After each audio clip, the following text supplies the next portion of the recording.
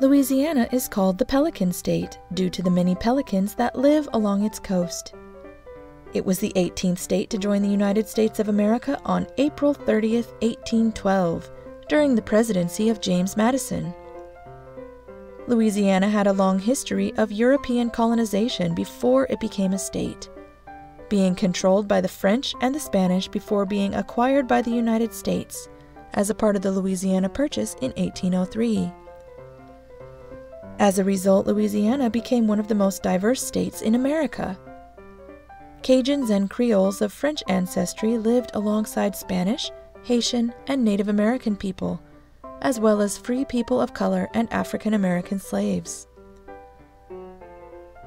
More recently, Louisiana was the target of the most damaging hurricane in U.S. history when Hurricane Katrina made landfall in 2005 flooding most of New Orleans and forcing more than a million people from their homes.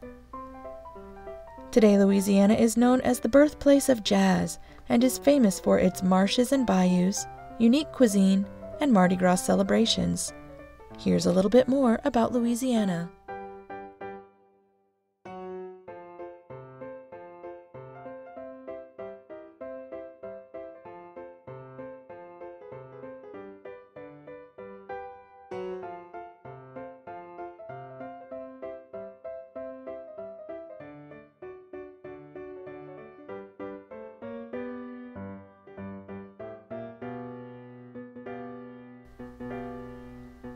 I hope you enjoyed learning about Louisiana, the Pelican State.